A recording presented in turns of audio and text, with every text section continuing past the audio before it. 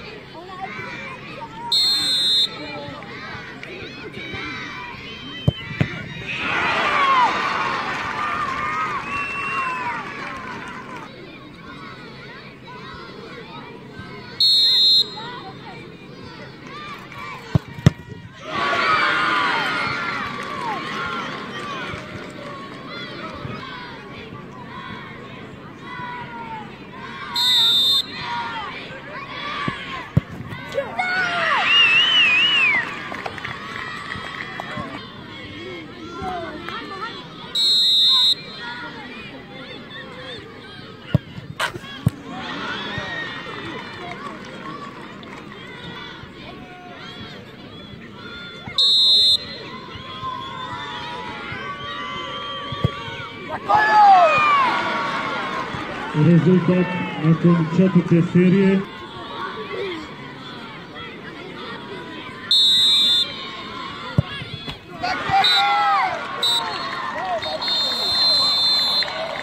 Završena je utakmica za prvo mjesto, radnik Velež ukupnim rezultatom 5-4. Pardon, 5-3.